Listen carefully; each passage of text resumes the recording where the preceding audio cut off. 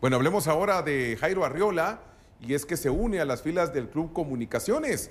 Hoy el plantel Albo lo hizo oficial en sus redes, le dan la bienvenida a Jairo Arriola, estará como eh, asistente técnico en Fuerzas Básicas. Sí, que esto es interesante y, pues al final hay dos eh, jugadores formados en el Club Comunicaciones que hoy están de regreso para trabajar en Fuerzas Básicas. Bueno, primero ya lo había hecho Edwin El Abuelo Morales, que ahora estará con el equipo eh, mayor, acompañando a Iván Franco Sopeño, y luego el tema de Jairo Arriola. La verdad es que si alguien ha sido siempre identificado con comunicaciones desde que se formó, eh, pues ahí es Jairo Arriola. Él es uno de esos muchos que salieron en esas camadas de futbolistas de, esa generación. Así que pues toda la enhorabuena para Jairo. Sé que le va a ir muy bien. Lo conozco desde que estaba en el especial de comunicaciones. Así que él sabe muy bien cuál es el camino y el recorrido. Así que pues todo el éxito del mundo. Sí, aparte que son de estas generaciones que muchos tienen eh, presentes, ¿verdad? Porque fueron jugadores del EXA.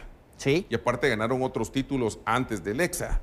Y que tanto Jairo, el propio José Manuel Contreras, eh, Rafa Morales, este, Castrillo, son de esas generaciones que la afición tiene en su mente de manera fresca esos recuerdos. Sí. Y que va a aportar, que es un tipo eh, que en su momento hizo diferencia, fue parte también de selección nacional y ahora entra a una etapa que para él no será del todo desconocida, ¿verdad? Porque participó en fuerzas básicas en comunicaciones, sabe qué es estar ahí, pero la experiencia que ganó como jugador ahora tiene que ayudar a los jóvenes, deseándole lo mejor precisamente a Jairo Arriola.